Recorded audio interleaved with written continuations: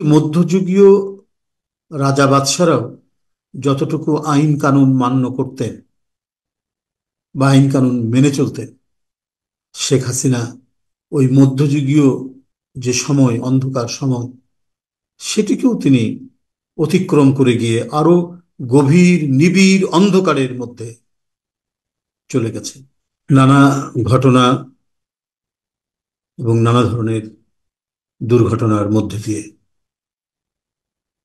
পার হচ্ছে আজকের দিনটি।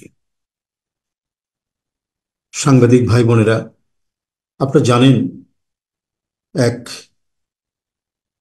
গণবিরোধী অমানবিক দখলদার সরকার রাষ্ট্র ক্ষমতা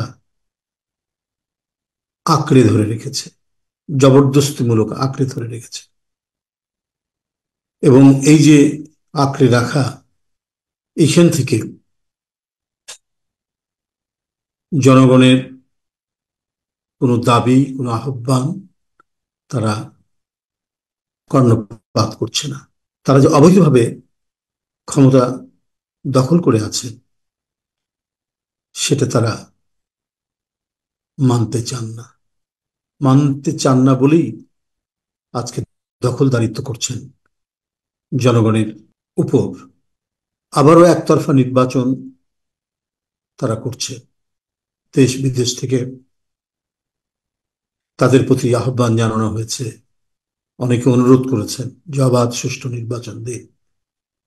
কিন্তু অবাধ সুষ্ঠু নির্বাচনের কথা মুখ দিয়ে একবারও বের করেন না।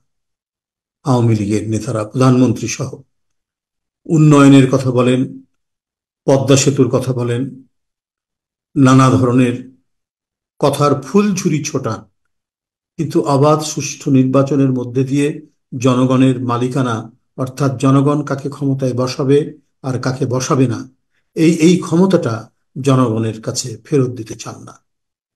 রাষ্ট্রশক্তিকে কবজায় নিয়ে, আইন শৃঙ্খলা বাহিনীকে একবারে হাতের মুঠোয় নিয়ে অত্যন্ত নিষ্ঠুরভাবে শেখ হাসিনা দেশ চালিয়ে যাচ্ছে। উনি মনে করছেন, আমাকে বোধহয় সবাই কত না ভাবেই প্রশংসা করছে। লৌহ, মানবী, অমুক, তমুক, নানা কথা। আর উনি এতে খুশিতে গদগদ। একটি রাষ্ট্র চালাতে গেলে তার যে কিছু বিধিবদ্ধ আইন আছে এবং এই আইন অনুযায়ী যে চালাতে হয়, এটা তিনি কখনোই গুরুত্ব দেন না। কখনোই দেননি। আর এই দীর্ঘ দেড় দশক তিনি মোটেই এটাকে পাত্তা দিচ্ছেন না।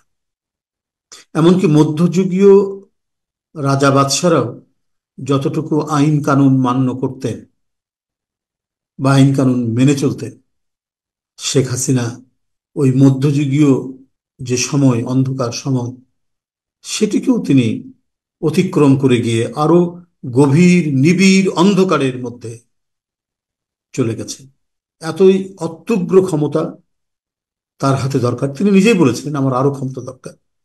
আর এই আরও ক্ষমতা দরকার বলতে গিয়ে তিনি সমস্ত প্রতিষ্ঠানকে ভেঙেছেন নির্বাচন কমিশন, সেখানে কৃতদাস আইন শৃঙ্খলা বাহিনী, সেখানে কৃতদাস বিচার বিভাগ, সেখানে কৃতদাস জনপ্রশাসন, সেখানে কৃতদাস সব কৃতদাসকে দিয়ে তিনি ভরিয়ে রেখে জনগণের উপর তিনি ছড়ি ঘোরাচ্ছেন এই বিপন্ন সময়, এই নষ্ট সময়, এর আগে এদেশে মানুষ কখনো দেখেছে কিনা? জানি না। শেখ হাসিনার মনোবাঞ্ছা পূরণ করার জন্য তিনি লেলিয়ে দিয়েছেন সবাইকে। এবং এই লেলিয়ে দিতে গিয়ে তিনি কোনো মানবতা, কোনো মানবিক বোধ, কোনো মানবাধিকার কিছুই তিনি রাখছেন